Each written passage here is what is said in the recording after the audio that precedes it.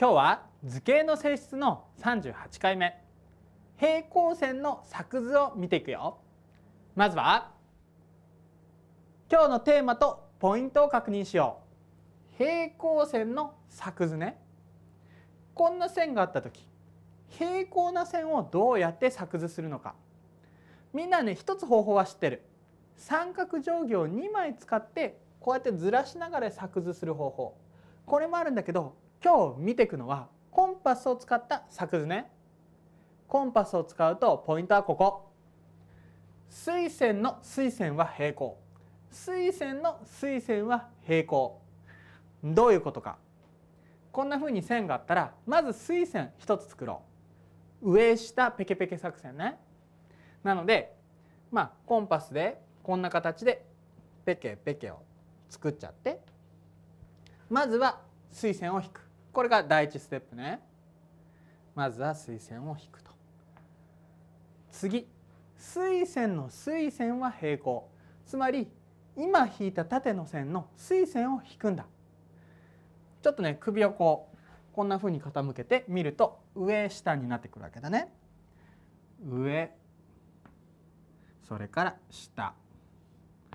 ペケペケ作ってあとはこれを結んであげる。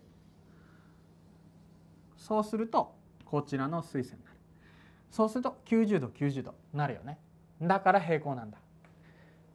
書き方は水線の水線は平行。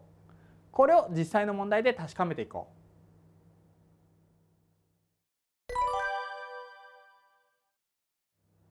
じゃあ例題見ていくよ。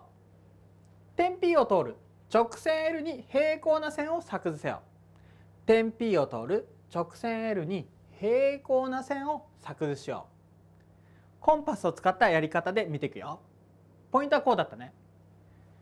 水線の水線を作図する。水線の水線を作図する。だから手順としてはこんな感じだね。1番目。普通に水線を引くと。点 P を通る水線を引こう。こういうことね。点 P を通る直線 L への水線。2番目はその水線の水線を引こう。2番目は水線の水線を引こう。この手順でいくよ。さあじゃあまずは点 P を通る直線 L への水線この引き方は1個前の授業でも出てきたね。まず点 P に針を刺して直線 L との交点を2点求めた。こんな形で点 P に針を刺して直線 L との交点を2点求めた。でこの2つを A そして B と置くとどうなってるか。AB の垂直二等分線が点 P を通ったね。垂直二等分線の書き方は上下ペケペケ作戦。上にペケの片割れ。下にペケの片割れを書こう。さらに B からも上にペケの片割れ。これ長さ変えないでね。長さは変えずにペケの片割れ。そして下にもペケの片割れを書く。こうすると点 P を通る直線 L への垂線がきちんと作図できるんだ。2つの交点を定規で当てて結んであげると。こんな形で水線が書けたわけね。でもやりたいのはここじゃない。水線はできた。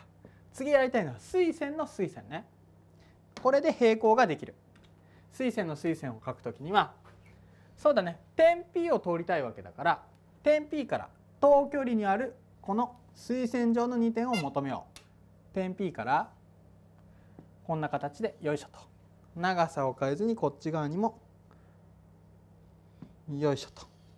こうして求めてあげると新たな2点が出てきてこれを A' B' とこう。そうするとこの A' B' の垂直二等分線は点 P を通るからこうしよう。上下ペケペケ作戦ね。A' からまあ厳密に言うとこちら側だけど顔こんな感じで見て上だ上にまずはペケの片割れを作ろう。そして下にもペケの片割れを作ると。そして B' からも上にペケの片割れを作り下にペケの片割れを作る。ともう見えてきたかな？この2つの交点ことこそが点 P を通る垂線の垂線になってるよね。結んであげよう。そうするとこれが垂線の垂線になるからここが90度。するとどうだろうか？90度90度だからこの二直線は平行だって言えるわけね。垂線の垂線が平行線。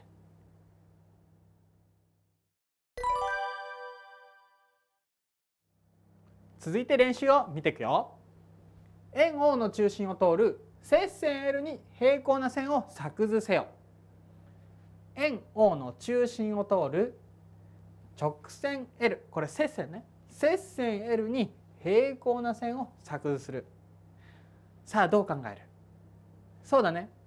直線 L に平行な線でこの点通ればいいわけだから。それは平行線の作図。つまりこれだね。垂線と垂線の垂線の作図で OK だね。じゃあこの点 O からまず始めてみよう。点 O を通るまずは垂線を引けば OK ね。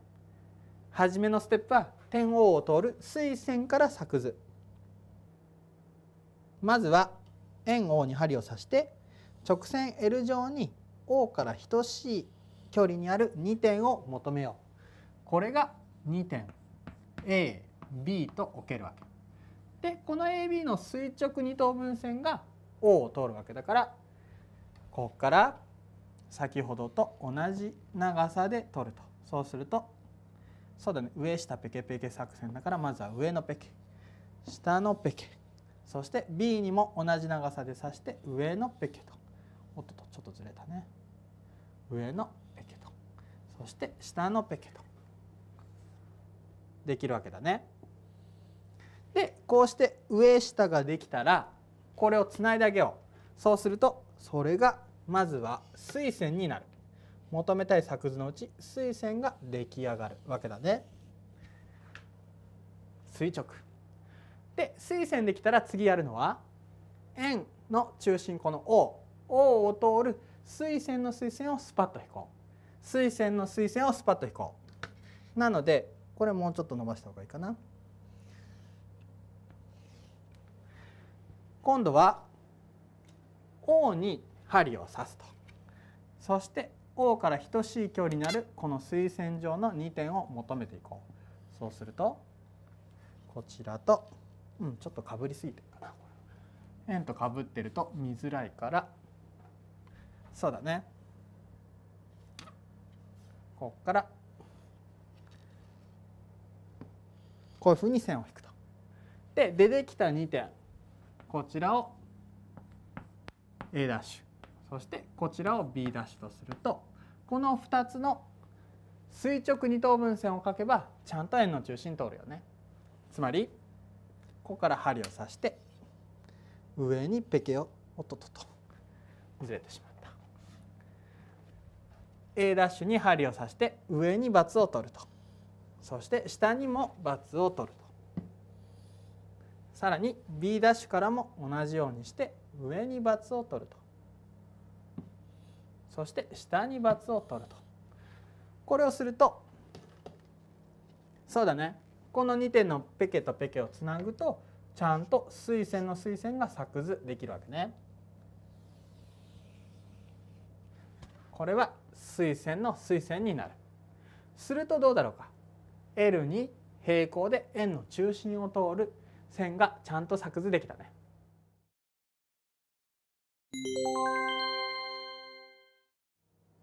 今日のポイントをおさらいするよ。